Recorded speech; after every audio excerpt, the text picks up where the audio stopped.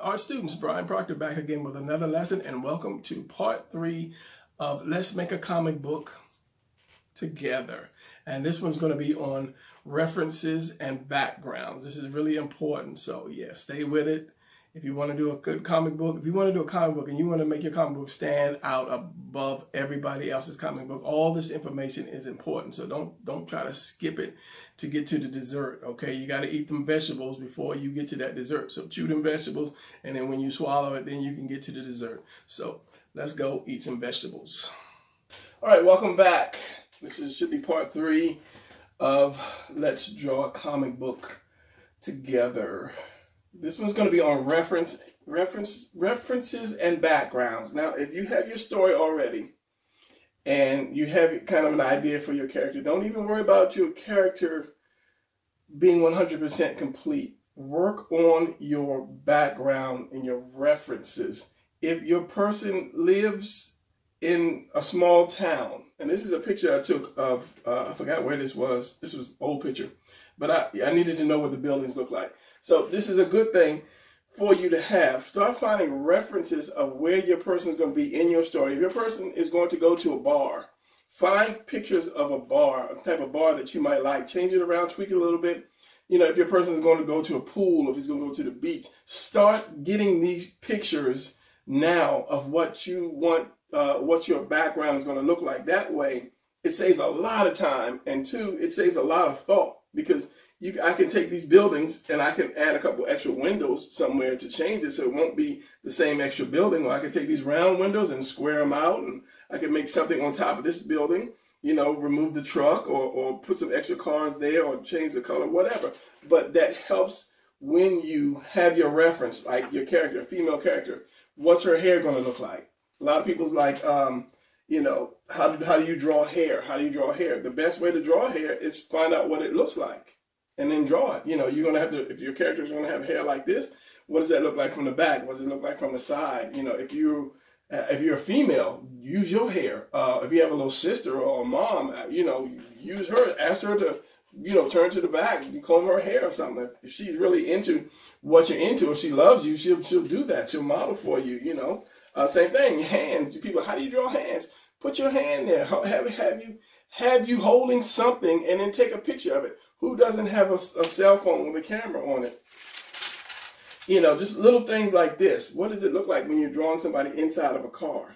Just little teeny things like this. If you if you have old magazines or old newspapers, just look at stuff because I have I don't want to say boxes, but I have so much just little stuff for reference, which I've learned it because when you look at something, the more you draw something, it stays in your memory. It's like uh, muscle memory. That's how people can draw, you know, anatomy.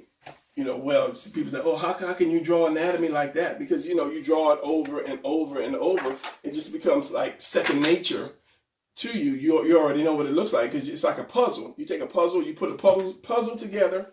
It may be hard the first time, but you take it apart and put it together again. Take it apart, put it together again, and eventually you just and that puzzle's done because you've done it so many times. So reference material, reference material, and then draw. Now these little things like this, these things, these little flyers you get in, in your uh, newspaper that nobody uses unless it's a good coupon, these things are so, so valuable. If your character, your character's going to sleep somewhere, if he's got a nice bedroom, this is perfect. You might say, okay, that's that's not his style, but look at the the angle that you can draw it from. You already got your your perspective set. You know, you, you got your little your, your uh, little whatever you call these little Chester things. Nice little dresser here, window here. You can take the window out, push the bed over, or change the design for the headboard. If you doesn't have a headboard, throw some shoes or something in there. This things like these are so important. Your living room. You have your living room. You have so many different living room styles your character has an apartment, he has a house, whatever. What is it? Um, dining room. You know, it. As I say, I don't know what your story's about or what your character, but I'm sure your character has a home somewhere. If it's if it's modern, contemporary, or futuristic, you know. Now, if you're going into the future, that's or, or you know some kind of sci-fi. That's another thing. Um, the um, designs, like you know, if you're in the in the science fiction, you're gonna do a little science fiction book. Uh, what does your, your ship designs look like? You know, what is you can you don't have to steal Star Trek and go to jail, but you can use some of the design elements, the lines, the the little grill. There's there's just so much you can take from something, which is what they do anyway, to um, make their designs. You know, what does you know what does the base look like? What is it the um, what do you want to call that? This, the space station might look like. this is a flip out, fold out. Yeah, what does a space station look like? You have a bit of reference right there. What kind of weapons, you know, are they going to use? What kind of weapon designs are they going to use? What about uh, the uniform? The uniform design. What does the uniform look like from the front, from the back? What is he wearing? Let's just say you have a soldier. Your character is a soldier. So what kind of gun is he going to use? What kind of tactical gear is he going to wear? You know, so these these things are invaluable. That's why I say, I think I said in, in the last video, don't walk around through life with your head up in the clouds. Stop and look at stuff. Look at how glass is broken. Look at how smoke rises. Look at how the water hits a rock on the shore whenever you go to the beach. Look at how, you know, um, uh, whatever a coke can looks you know in a, in a dumpster look at a dumpster what is it what's the shape of a dumpster if i say draw a dumpster with trash all coming out of it could you do it have you actually stared at a dumpster find reference material. Find reference material. You know i could use this uh, for uh, a sniper thing. Maybe this guy is set up on a roof somewhere or behind a rock and he's about to shoot a demon. And uh, hey i got that right there. People do that all the time. Don't think that you cannot use somebody's position to uh, draw your thing. Because somebody asked me, somebody said something about uh, taking a position that I drew because number one, if you look at a comic book, everybody's used the same flying position. Where's my book at? This, these positions are nothing new. You have to actually think hard to, you know, think of a position. You know, a punch is a punch. You know, Everybody uses a punch. Some people use stronger punches. You might split the legs. This is like a step punch. So, you know, these are not jumping over a wall. These are not original. Everybody does that. They use the same one. They just do different angles. To, to, to make it different, you have to choose another angle sometimes. That's why I did this book. And you can buy this book. I'll leave the address, the link, link uh, afterwards or below. So reference material. You gotta have that reference. I'm telling you, you got it. It makes life so much easier. So when you get these little ads in the in the mailbox, don't throw them away. Look through it. Look through it. Say, okay, so this is what that looks like. This is what that looks like. Okay, this perspective is this way. That perspective is that way. Um, you know, a, ta- a chair, the, the back of a chair. How many people drew had to draw a chair? Somebody sitting in a chair. What does the back of the chair design look like? So many different things. Dresser, as I said, hair design.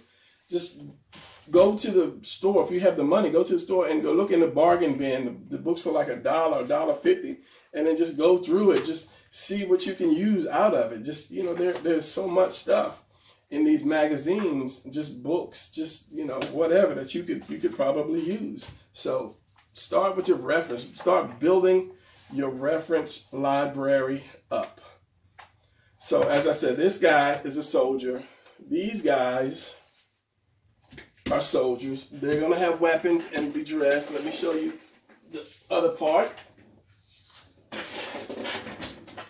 These guys are soldiers, but the problem with these guys are they're a little taller than man. You know, they have the, the robotic bodies. They're like androids with um, animal. They're animal, half animal, half uh, cyborg, all killing machine. So basically, if you figure, if you took a lion and you stood a lion up on his, his, his hind legs, how tall would that lion be? So this is how I gauge the size of these guys. If you took the bear, which is just big, bear stands up, how big would these guys be? So that bear is so big that he really could not use a gun of that size. You know, the dog could, the wolf could, the fox is a little thing, but he still could. Maybe the lions, but these guys are gonna be fighting aliens. So you know, I'm I'm I'm I'm thinking about the tech. What kind of tech are they gonna be using?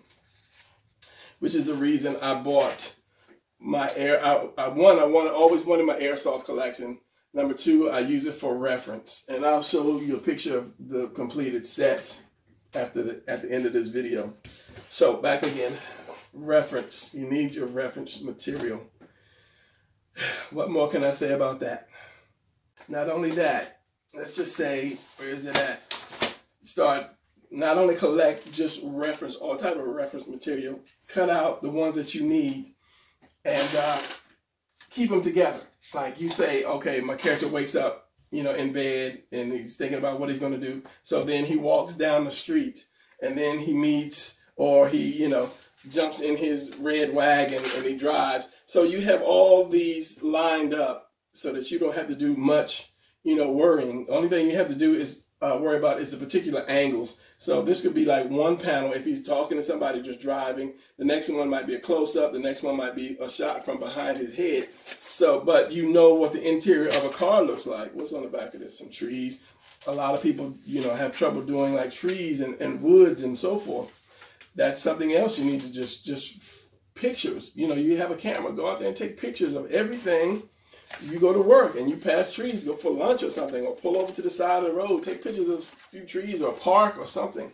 Have as much reference material as you can, and then go out and buy one of my books so that you will be able to do the anatomy right and then you won't have to worry about that. But we'll get into anatomy later on. I'm just blowing my own horn so that you guys can see what I've done in the past. So yeah, short video.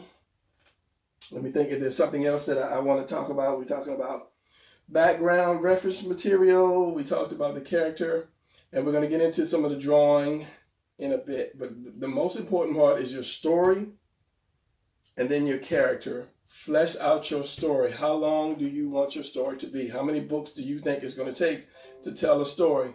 Don't, what was I going to say? Don't, don't think that, oh, I'm going to take a hundred books because it takes a while to do one book. It takes a while. Where's this first book? This book took me, I don't know how long it was, but I did this in 2000. 2000. I didn't know anything about color. I colored the cover. I colored, yeah, the cover but the inside was black and white, and I was so afraid that people were going to say, "Oh, um, it's not good enough. It's not good enough." So I ended up doing a lot of where is it? The grayscale. I had the grayscale pens because it just didn't to me. It just didn't look good black and white ish. I mean, without because my line weight was like really thin back then. So I ended up using a lot of grayscale pens. So it took me more time to do that. And then later on, once I learned how to color better, I started to color but then that just takes more time. So find out how long your story should be. I would say no more than five books. If people like it, then go for a sixth book or hire some people to uh, help you do that. But it, it takes time and money to do a comic book. There's, there's, there, I'm not gonna lie about that. Um, this particular one that I'm doing, I think I paid the paying the guy like six hundred dollars to recolor it. This is my original color and I didn't like it because it was not the greatest for me. So I'm paying this guy like six hundred dollars to color recolor it, and you know, six hundred dollars is no joke. So yeah, it costs. If if your skills are good, like I can hire myself out to somebody and charge them big money because I have the ability to put out a good comic book, but you know, and, and charge them. But I was gonna say something about a but. But yeah, it's it's expensive. It's expensive. So best to learn how to do everything by yourself. That way you don't have to worry about anybody. Now, I'm, now there might be a few things that you just cannot do. You might not have Photoshop to color it. Uh, and that's fine. If just put it out black and white. A lot of books start out black and white.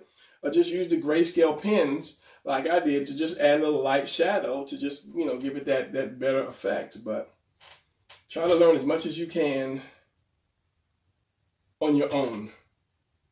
And then that'll make life a little bit easier. So work on your story, get your story down, start to finish. It's okay if you can't figure out the middle, it'll come.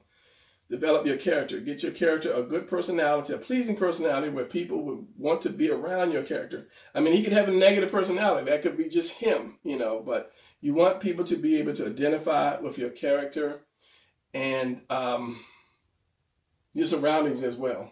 You know, look at Star Wars. I mean, you cannot identify with Star Wars surroundings, but they put so much detail into that. That's something don't don't be you know you know slapping off on doing your background. Do your background, make it look good because crappy background and great background determines which book you want to buy. If I pick up your book and it's just like crappy, you just do something out there and I look at another book with the same price and it's got great background, great color, then, you know, which one am I going to buy? So, and eventually I figure, initially I figured you're doing comic books to make money. So there's food for thought.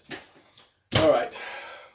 This is a very short video. So um, I think the next one we'll start getting into some drawing, but I don't want to put too many of them out too quick because I want you guys to actually do your homework. The first thing is write your story out. Write your story out. My email is going to pop up here. Uh, a lady uh, wrote me last night and she said she couldn't, she didn't know anything about it, but she wanted to do comic books. And I said I will kind of guide her as best I can, which is what prompted me to actually do this video. I was going to do another one well, I had plenty to do, but I said, let me do this to help those people. Since it's a new year, let me start a whole new step by step doing comic books. But yeah, my Eli, as I say, you know, if you guys, I'm not available to draw your comics. I'm sorry, unless you're paying $100 a page and I'll just throw everything to the side. But uh, I can always um, guide you. You know, like if you show me your character, I can I can tweak it and show you, oh, your shoulder's wrong, or your leg is wrong, or open this up, or your hair needs to be like that, and give you some uh, pointers on like drawing, telling a story, or um, show you a little bit about perspective. Little things that I can do, you know, which is won't take long. I'm there for you. That's why my email is there, and I always invited people to, you know, write me if you need some help. Fine, you know, I'll help you. But as I said, I cannot draw your book because I'm working on some ladies right now. I'm trying to draw my three or four comics right now by myself uh, and, and my colors. And I decided to try to help some lady because she just wanted something for her grandkids, which I'm being held up for that because I can't even get to that right now. So yeah, I got you though. I'm gonna help you as best I can. So with that said, let me throw my pen down. It's like throwing your towel into the ring when you get beat down too much. I'm out. I'll see you guys in the next video.